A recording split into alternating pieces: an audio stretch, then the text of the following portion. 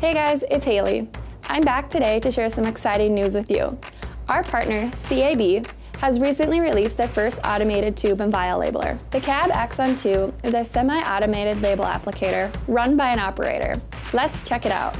This machine can print and label each tube in less than two seconds. Simply insert the container into the applicator arms, tap the touchscreen icon, and the system prints and applies a label. The Axon 2 is compatible with a wide variety of tubes and vials, including capped and tapered tubes. This could be a great way for labs to upgrade a standalone manual workstation or could also be integrated into sample processing systems. Hey, now for some technical data. It comes in a 300 and 600 DPI version. It can print on tubes from 10 millimeters to 17 millimeters, and it can handle a two inch wide label. So, if you've been hand labeling tubes all these years because you had no other options because the other options were so expensive, now's the time to rethink and retool with the Axon 2.